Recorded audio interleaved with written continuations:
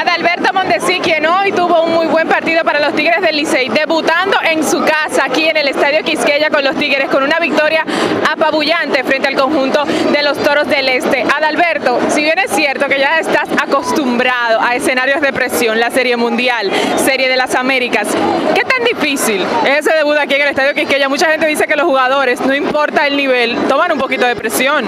No, tú sabes, primeramente darle gracias a Dios por permitirme jugar sano hoy en día y de verdad es un juego normal, ¿sabes? El mismo juego y no había presión, siempre pongo los juegos en oración y le doy gracias a Dios por cada oportunidad que me da.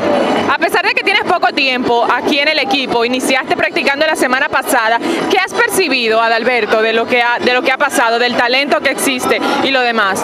No, tú sabes, ahí en este equipo nosotros tenemos mucha gente que sabe de esto y nos ayuda mucho, dan buenos consejos y de verdad es bueno eh, pertenecer a un equipo como el Licey que se aprende mucho y esto es solo el comienzo, vamos a seguir dando lo mejor.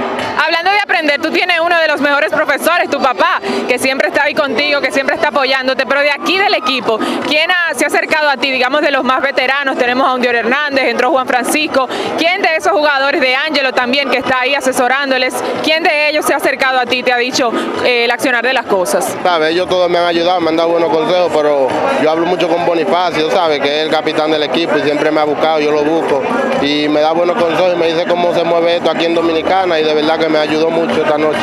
Ya eres uno de los favoritos de todo el público, la gente de hecho ha valorado tu aparición en la Serie de las Américas, lo de la Serie Mundial y te da seguimiento desde entonces. Darle un mensaje a todos los fanáticos de los Tigres del Licey. No, que ya gracias a Dios estamos aquí con el permiso, jugando y nada, seguir para adelante y seguir ganando con Dios delante. Bueno, gracias y felicidades. Gracias, muchas gracias.